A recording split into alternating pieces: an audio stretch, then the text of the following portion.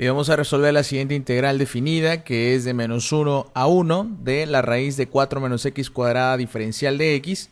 Y en este caso nos damos cuenta que esta integral se resuelve por el método de sustitución trigonométrica. Y como ya hemos trabajado con estos videos, nos damos cuenta entonces que el cambio que tenemos que hacer tiene que ser, aquí lo voy a colocar, tiene que ser raíz cuadrada de b al cuadrado menos a cuadrada x cuadrada para que nosotros podamos hacer el cambio de x igual a b sobre a seno de teta. Ese sería el cambio que necesito hacer. Entonces, cuando tenemos una integral de ese tipo, es importante que tengamos que reconocer quién sería a cuadrada para nosotros. Y en este caso, a cuadrada vendría a ser 1. Por lo tanto, el valor de a sería también 1. De aquí sacaríamos a b cuadrada, que en este caso b cuadrada vendría a ser 4 y el valor de b sería 2. Por lo tanto, el valor de x vendría a ser b sobre a, que en este caso sería 2 sobre 1, es decir, 2 seno de, voy seno de teta. La diferencial de x en este caso sería 2 coseno de teta, de esta forma, diferencial de teta, y nada más nos faltaría colocar x al cuadrado, que en este caso sería 4 seno cuadrado de teta. Una vez teniendo esta tablita, lo más sencillo entonces es sustituir en la integral y vemos qué es lo que ocurre. Sería entonces la integral de menos 1 a 1 de la raíz de 4 menos x al cuadrado, pero x al cuadrado es 4 seno cuadrado de teta, entonces colocamos aquí 4 seno cuadrado de teta, seno cuadrado de teta y a esto también le colocamos la diferencial de x, pero la diferencial de x es 2 coseno de teta, diferencial de teta. De esta manera. Ahora una vez teniendo esto, proseguimos a hacer lo que tenemos dentro de la raíz. Y aquí tendríamos a raíz de 4 menos 4 seno cuadrado de teta, podemos factorizar al 4. Y vemos qué es lo que ocurre. Podemos aquí colocar 4. Aquí colocaríamos 1 menos seno cuadrado de teta. Aquí colocamos 2 coseno de teta, diferencial de teta. Entonces vemos que 1 menos seno cuadrado de teta es lo mismo que si yo tengo la identidad del coseno cuadrado de teta. O sea, esto es coseno cuadrado de teta. Si hacemos esa sustitución, nos vamos a dar cuenta entonces que la integral me queda integral de menos 1 a 1 de la raíz de 4 coseno cuadrado de teta. Aquí ponemos 2 coseno de teta diferencial de teta. Por lo tanto, esta integral, sabemos que la raíz de 2, de 4, perdón, es 2, y aquí nos quedaría entonces raíz de menos 1 a 1 de 2 coseno de teta, puesto que la raíz del coseno cuadrado de teta es coseno de teta, y por este lado también nos quedaría 2 coseno de teta, diferencial de teta. Haciendo esta operación sabemos que nos va a quedar la integral de menos 1 a 1 de 4 coseno cuadrado de teta, diferencial de teta. Sacamos al 4 y nos quedaría integral de menos 1 a 1 del coseno cuadrado de teta, diferencial de teta, pero esta integral no la puedo resolver, al menos que haga el cambio adecuado para el coseno cuadrado de teta. Entonces esto sería 4, integral de menos 1 a 1, y vemos que esta integral, el cambio que tenemos que hacer es un medio de 1 más el coseno, colocamos aquí, coseno doble de teta de esta manera y luego aquí diferencial de teta y es lo que tendríamos nosotros que integrar. Entonces vemos que aquí se formarían prácticamente dos integrales. Una sería la de un medio con la diferencial de teta y la otra sería un medio coseno doble de teta, diferencial de teta. Entonces aquí nos quedaría el 4, vamos a sacar al 4 y aplicamos entonces la primera integral que sería un medio de teta de esta manera. Y en el otro caso nos quedaría la integral del coseno doble de teta es igual a un medio del seno doble de teta, pero ese un medio que tenemos ahí con este 2 sería entonces un cuarto. Un cuarto seno de 2 teta. De esta manera, y esto recordemos que está de menos 1 a 1.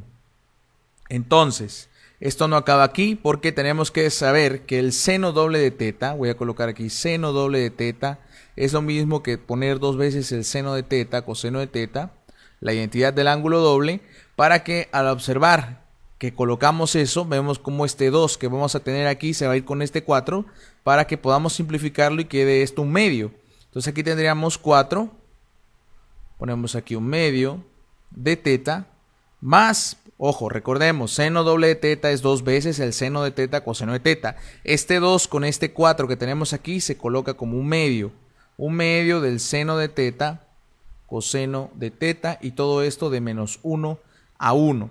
Entonces podemos empezar a multiplicar este 4 por lo que tenemos aquí y esto nos quedaría 4 sobre 2. Esto es igual a 2 veces el valor de teta. Y de este lado nos quedaría este 4 sobre 2, también vendría a ser el valor de 2, o sea, 2 seno de teta coseno de teta. De esta manera, de menos 1 a 1. Pero esta integral sigue estando en términos de teta y nosotros necesitamos que la integral esté en términos de x. Por lo tanto, vamos a aplicar lo siguiente. Vamos a decir aquí que el triángulo que vamos a formar tiene el ángulo teta y de aquí sacamos los lados, es decir, de esta parte. Vemos que el seno de teta es igual, este 2 que está multiplicando al seno de teta pasa a dividir, por lo tanto tenemos x sobre 2 y esto vendría a ser mi cateto opuesto, es decir, el cateto opuesto es x y la hipotenusa vendría a ser 2, por lo tanto el lado que nos hace falta es 2 al cuadrado, que sería 4, menos x al cuadrado, que es justamente lo que tenemos aquí. Entonces, si ya sabemos esto, sabemos cuánto vale el seno de teta, pero el coseno de teta, coseno de teta valdría cateto adyacente, que sería raíz de 4, menos x al cuadrado, sobre la hipotenusa, que en este caso la hipotenusa vale 2. Entonces vamos a reemplazar estos valores aquí y tendríamos lo siguiente. Por ejemplo, el valor sería de teta, aquí sería dos veces el valor de teta, pero teta cuánto vale, lo despejamos aquí y teta es el arcoseno de x sobre 2. Ponemos aquí teta es igual al arcoseno de x sobre 2 más dos veces el valor del seno de teta, que ya sabemos que el seno de teta es x sobre 2, ponemos acá x sobre 2 y multiplicamos por el coseno de teta, que el coseno de teta es la raíz, ponemos aquí raíz de 4 menos x al cuadrado y todo esto dividido sobre 2. De tal manera que nosotros podemos simplificar esto de la siguiente manera, porque aquí tenemos el 2, este 2 se puede ir con este 2, quedando así nada más un medio de esta parte.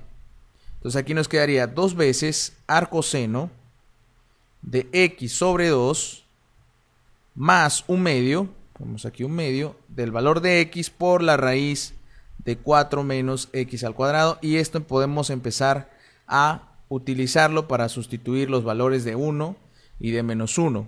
Entonces evaluamos el valor aquí primero del límite superior y nos quedaría dos veces arcoseno de 1 sobre 2, es decir, de un medio, más un medio, colocamos aquí más un medio, el valor de x se, se sustituye por 1, colocamos aquí el valor de 1, por la raíz, fíjense bien, la raíz de 4 menos 1 al cuadrado, en este caso sería 1 nada más. Y a todo esto le vamos a restar, fíjense bien, le vamos a restar dos veces el arco seno de menos 1. Ahora evaluamos con menos 1.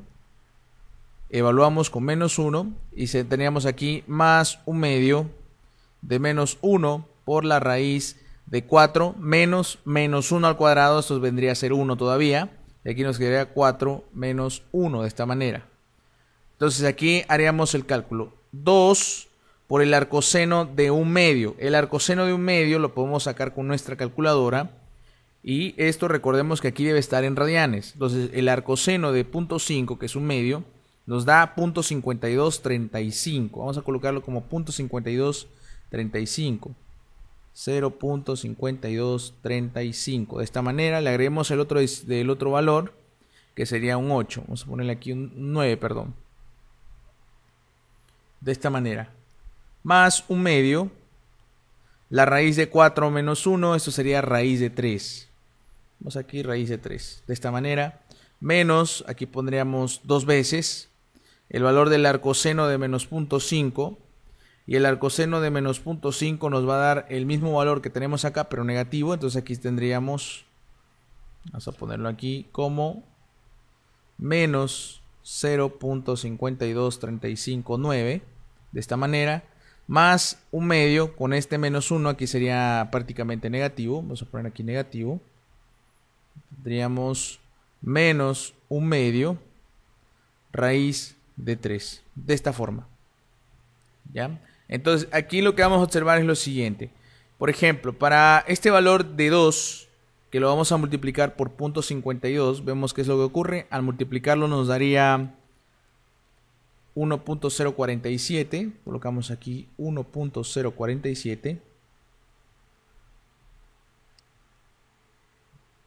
18 más raíz de 3 sobre 2 vemos que eso nos va a dar 0.86 0.8660 menos, con este menos sería más, por lo tanto aquí tendríamos 2 por 0.052 que vendría a ser prácticamente lo mismo, es decir 1.04718 aquí menos por menos también nos daría más y esto nos daría lo mismo 0.8660 ahora haciendo la suma vemos que esto lo que nos da es lo siguiente.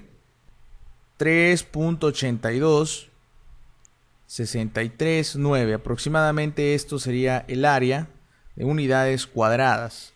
Podemos comprobarlo mediante un software. Aquí tenemos por ejemplo para Wolfram y en Wolfram nos da 3.8264 entonces tuvimos prácticamente el valor que tenemos aquí no 3.8264 aquí vemos el área sombreada donde estamos trabajando de menos 1 a 1 de esta función que tenemos acá.